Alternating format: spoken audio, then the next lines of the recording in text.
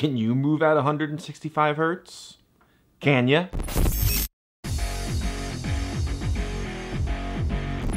How's it going everybody? This is Dave LeClaire with MUO Tech Bytes and I'm here to take you on a journey through the wide world of technology news and the biggest stories from the last 24 hours. There's been a lot of stuff happening in the technology world. I've been closely monitoring all of it and now I'm gonna break it down for you in bite-sized little chunks. So as a technology website, if there's one thing we see a lot of, it's phones. We get phones sent to us, we get press releases, we see other people's news articles. We see a lot of phones and it takes a lot for a phone to really catch our attention. But there's one that caught our attention recently, and that's the Red Magic 6. Now, this thing looks like a beast as long as you go with the Pro version. The Nubia Red Magic 6 comes with 18 gigs of RAM, which, as far as I know, is the most ever in a smartphone. And that's impressive enough as it is, but even more impressive is the 165 hertz screen. Now we've been excited about phones that have 120 hertz screen. So to get 165 hertz, that is an absurdly fast refresh rate. And this is a phone that is primarily targeted at gamers, so it makes sense to have that extra, extra high refresh rate for even more performance, more frames, and all that good stuff for gaming.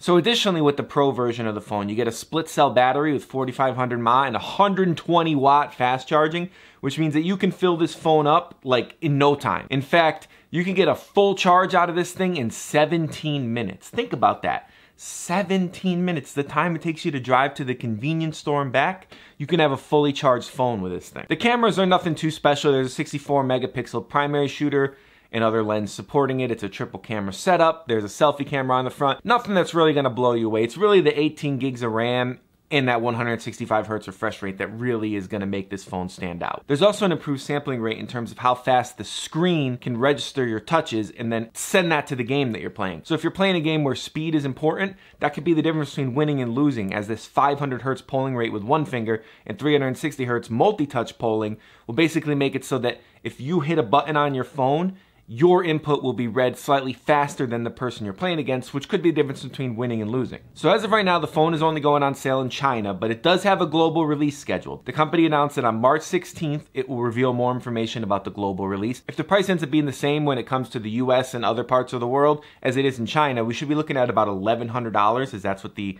the Chinese conversion rate is, $2 for the current phone. Obviously, they could change it up based on the market and the needs of the market and the demands of the market and all that kind of stuff.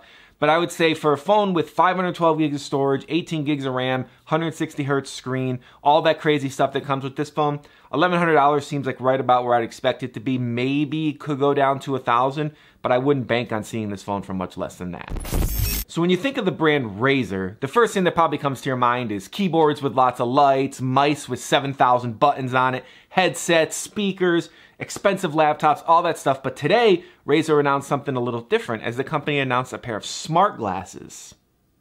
So these are called the Razer Anzu smart glasses, and basically they're designed to block blue light, like many other glasses, but they also have speakers built into them that allow you to listen to music or games or any other thing you're doing right through your glasses, which is pretty cool. So each arm of the glasses has a 16 millimeter driver, which should deliver pretty good sound when you're listening to your music or games. It's not gonna rival a pair of super high-end headphones with noise cancellation, obviously, but considering it's coming directly from your glasses, you don't have to wear anything extra, it's pretty cool and it's definitely convenient. As you might expect, these smart glasses come with an app that allows you to adjust the EQ for the music and all that other stuff.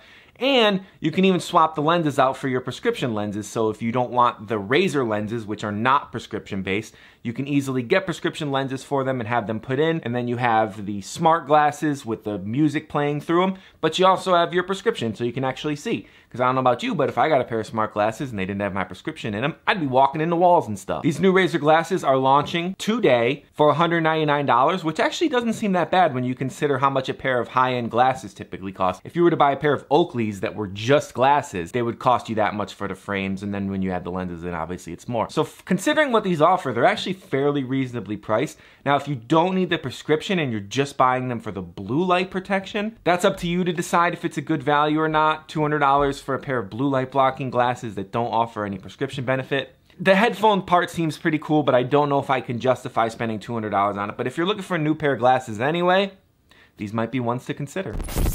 Look, we've all been there. You go to send something out on Twitter, you write your tweet, you think you're all witty, you click send and you realize, I made a typo. You can't edit it.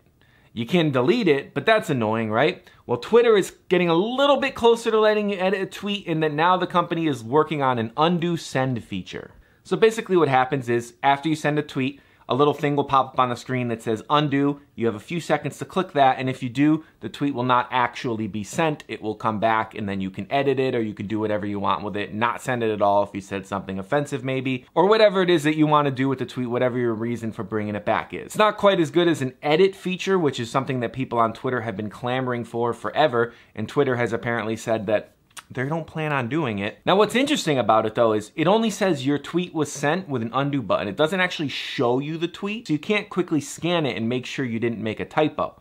You have to know you made a typo, have clicked send anyway, and then want to bring it back. So it seems like it could use a little bit of work. We'll see what happens with this feature once it is rolled out, if it ever is rolled out. It does seem kind of half done. It should at least show you the tweet so you can see if you have a reason to bring it back because how else you gonna know? And there you have it, ladies and gentlemen. This episode of MUO Tech Bytes is officially over. I have been Dave LeClaire bringing you the latest from the world of technology news. I hope you found this episode informative, and I hope you found it entertaining, and I hope you will click the like button, and I will see you in the next one.